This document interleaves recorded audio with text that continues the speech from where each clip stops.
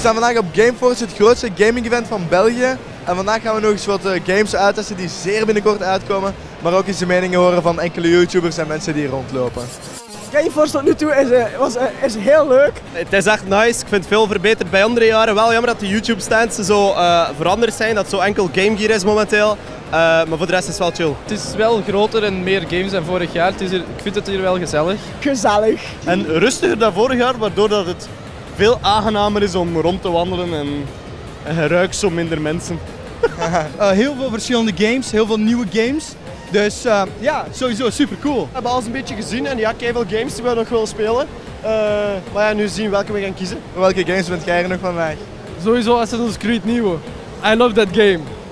Heb je al gespeeld? Uh, nee, nog niet. Er is echt een vies lange rij, joh. Echt, echt te lang. Ik heb geen geduld hiervoor, sorry. Ik mag hier uh, een jobje doen voor Nintendo. Ik ben shoutcaster van dienst voor vandaag en morgen. En ik amuseer mij. We staan er nu bij Assassin's Creed Origins, het lang verwachte sequel van Ubisoft. Twee jaar hebben ze gewacht met de game. En we gaan eens zien hoe hij speelt en wat de mensen ervan vinden. Is eigenlijk de eerste keer dat ik Assassin's Creed Origins gespeeld heb. Allee, het is wel iets dat me aanspreekt omdat het zo over de geschiedenis gaat en zo. Dat was wat moeilijk in het begin omdat ik zo ook niet de, de juiste controls kende, maar dat was wel nice. Ja. Ik vond het wel vet. Uh, wat wel was, ik heb mij absoluut niet geconcentreerd op die missies. Ik ben gewoon van rotsen gaan springen, omdat ik dat leuk vond. Het is een heel leuk spel. De controls zijn wel echt helemaal anders, maar het, ik vind het echt een leuk spel. Voor mij was het nu redelijk moeilijk om te vinden wat ik moest doen en waar ik naartoe moest gaan. Maar voor de rest was het wel heel plezant om te spelen. Wat ik precies wel door had als ik aan het spelen was, dat het precies minder smooth was, gelijk als ik verwacht had, maar well, het ging nog. Ga je het kopen? Oh, waarschijnlijk wel. Onze tweede game is Call of Duty World War II. Eindelijk terug boots on the ground. We gaan eens zien hoe dat hij speelt en hoe dat hij aanvoelt.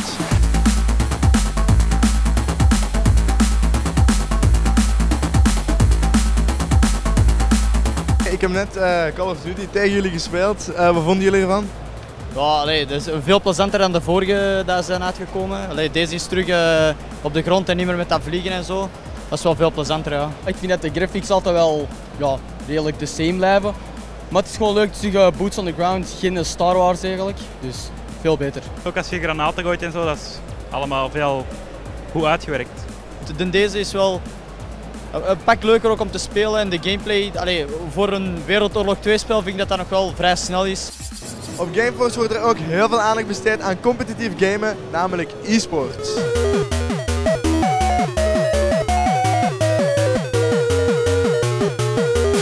We staan hier vandaag bij Zakaria, officieel e-sports player in Anderlecht.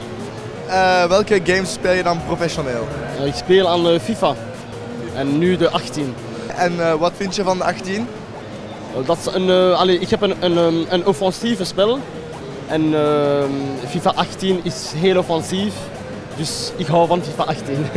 en in België, als je zo professioneel e-sportspeler bent, is er veel competitie bij FIFA? Nog niet, maar ik heb uh, gehoord dat um, we, willen, uh, we zullen een e-pro league hebben.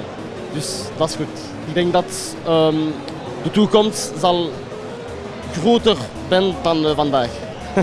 ik zou liever alleen professioneel spelen, maar allee, ik heb sommige vrienden die, die willen tegen mij spelen, dus allee, soms ik speel voor de plezier.